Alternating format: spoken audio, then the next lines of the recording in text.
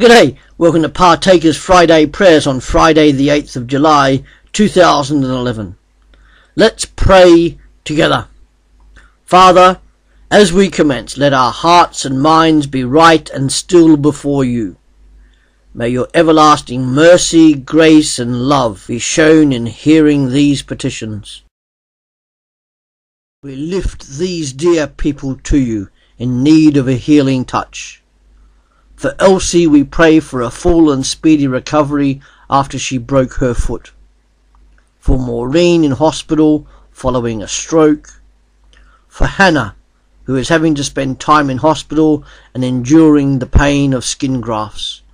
We pray also as she is getting very bored and fed up of being in there. Additionally, we also lift her family before you as they are having to make adjustments without her. And for continued healing of Chris Genevieve, and Gladys.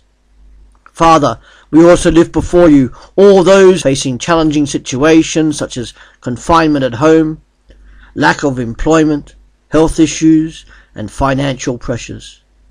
Hear the cries of their hearts and our hearts, and give wisdom and courage to overcome, and help the respective governments to send aid and be compassionate. We ask these things, our Father God, in the name of your Son, Jesus Christ, and in the power of the Holy Spirit. Amen. Our Father God, we now lift before you all those who are preaching, leading, and participating in church services around the world this weekend.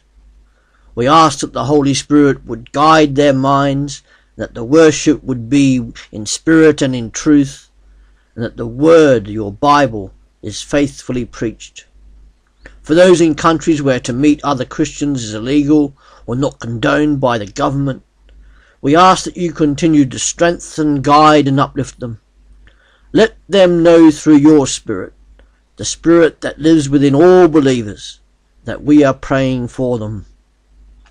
For the wider world, please do make your ways known upon earth, Lord God your saving power among all peoples.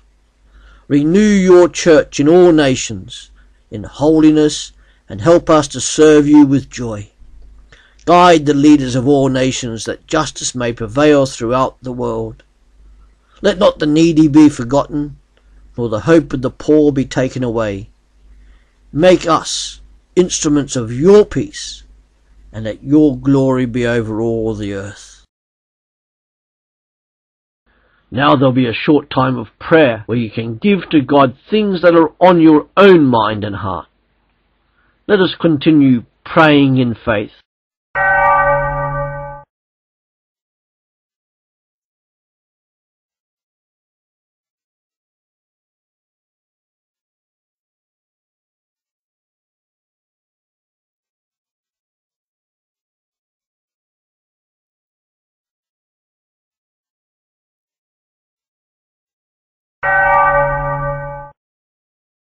Lord, in your mercy, hear these prayers of your children. Amen.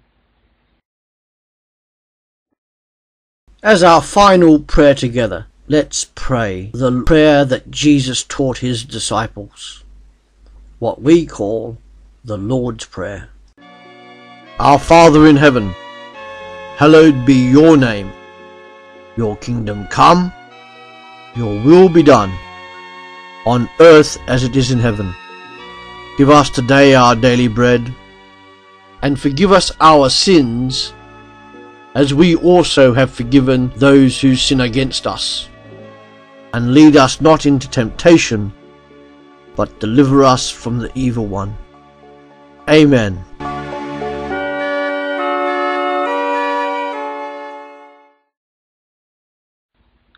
Thanks for joining us on Partakers Friday Prayers. If you would like to post a prayer request in the comments below, either giving your name or staying anonymous, we will pray for you. Thank you.